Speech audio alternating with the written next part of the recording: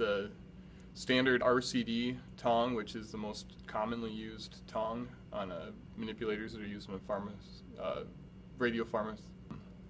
And so it's generally it's very dexterous and, and light duty in, in for the frictions that the operators see.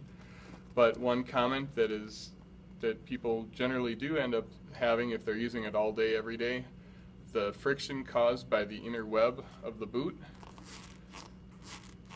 So as you're closing it, you can hear that the boot has to compress and move and over time that can cause some fatigue issues for operators.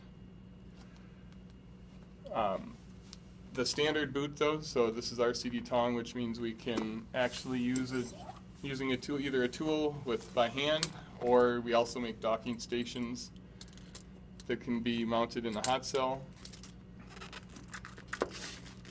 So this can pop right off. So the tong would stay in the hot cell, and if you're replacing the boot, uh, then you, then you can pull the manipulator that way. You don't need to replace the tong every time.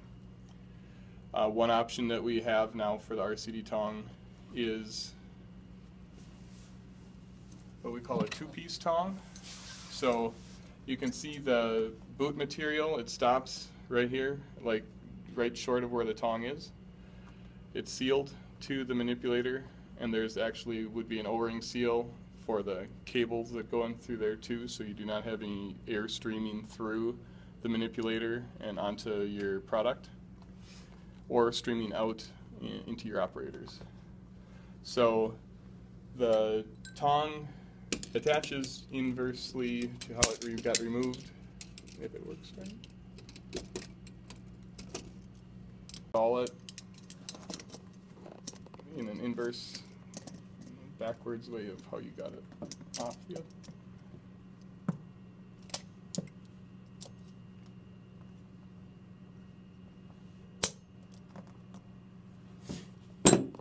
And so now you can see there's no boot material in here.